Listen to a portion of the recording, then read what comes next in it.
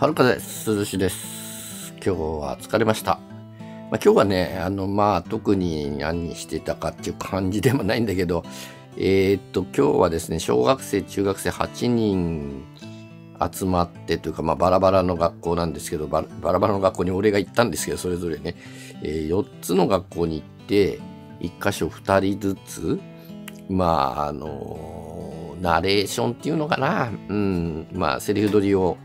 してきたんですけども、まあね、えー、一人一人演出して、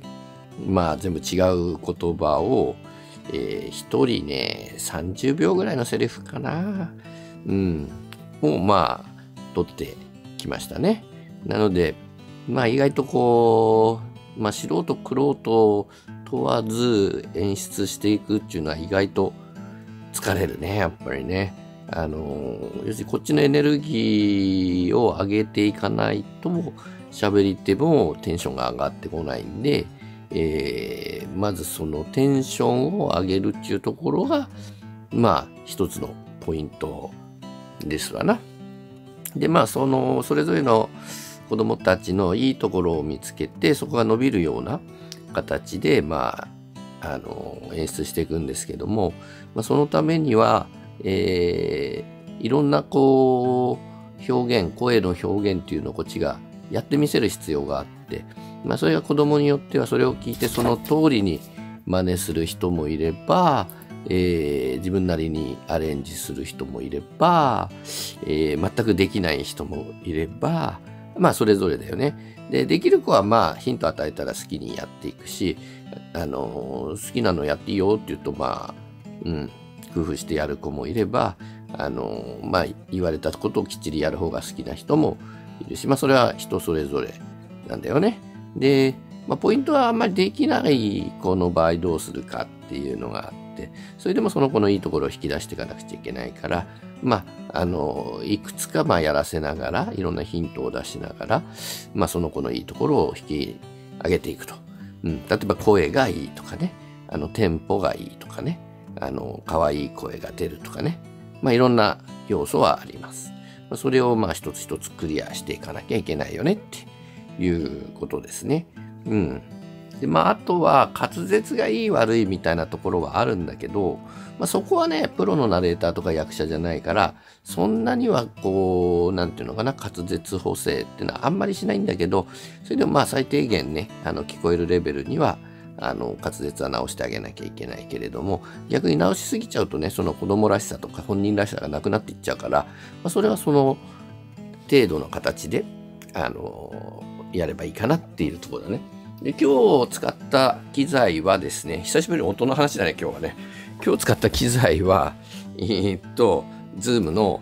F3 ですねあの未だにあんまり変えませんけどもこれも F3 にえー、っと手話のえー、っと SM63 の L じゃない方ね。短い方。この短い方のえー、まあこれ僕お気に入りでこのこれね。まあほい刺さりはしないんだけどあのまあこうこういう形のマイクあそうか。これ延長でここにカチンって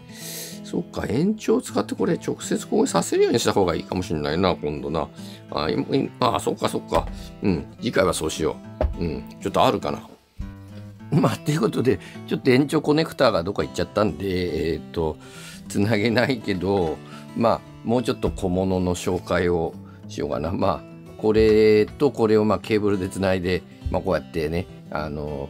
まあ、かん、なんていうのかな、ちゃんとしたナレーションだと、まあ、ブース使ったりとかですね、まあ、いろんな、あの、設備整えてやるんだけど、まあ、あのー、実際普通の音取るときはここのマイクね、えー、SM63 かえっ、とあれだね手話の、えー、ベータコッパ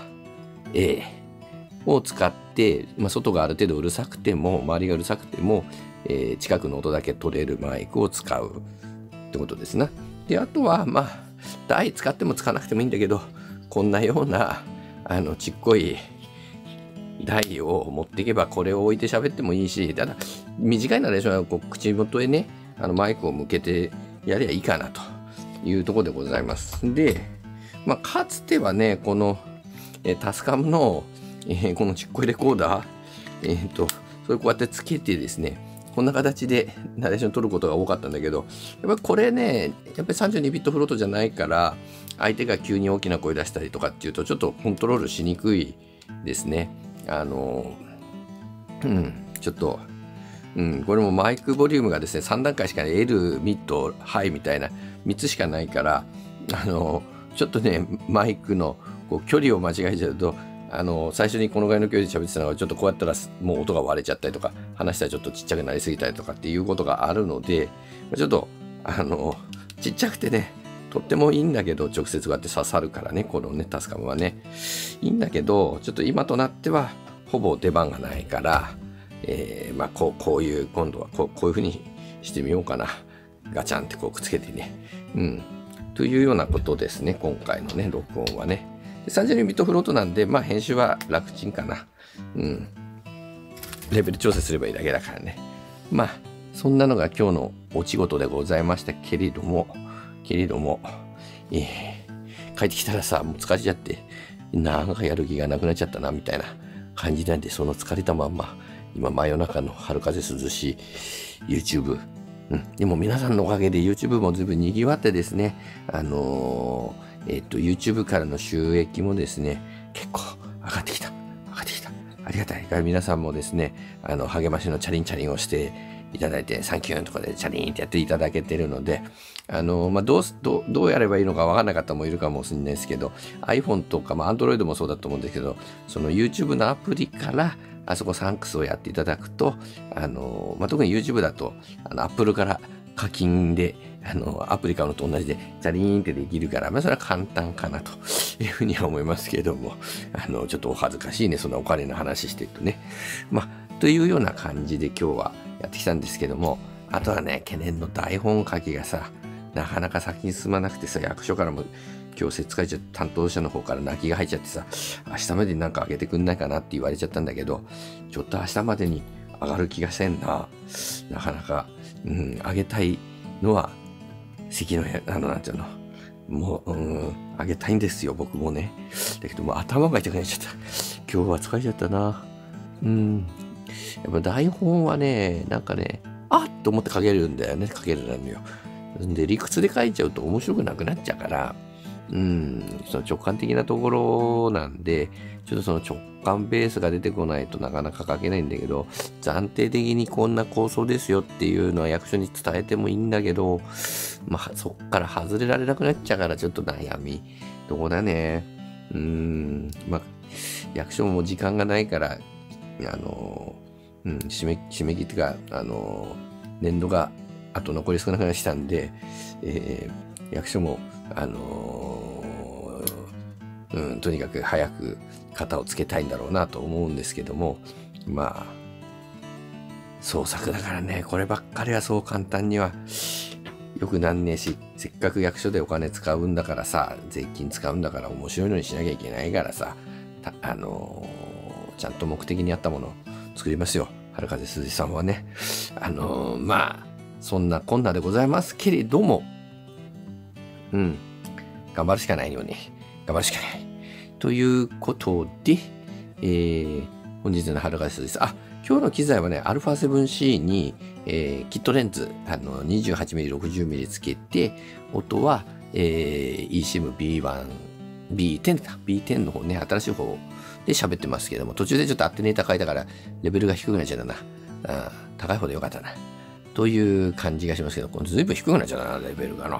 まあいいや。という感じでございました。うん。あの、また明日も頑張るよ。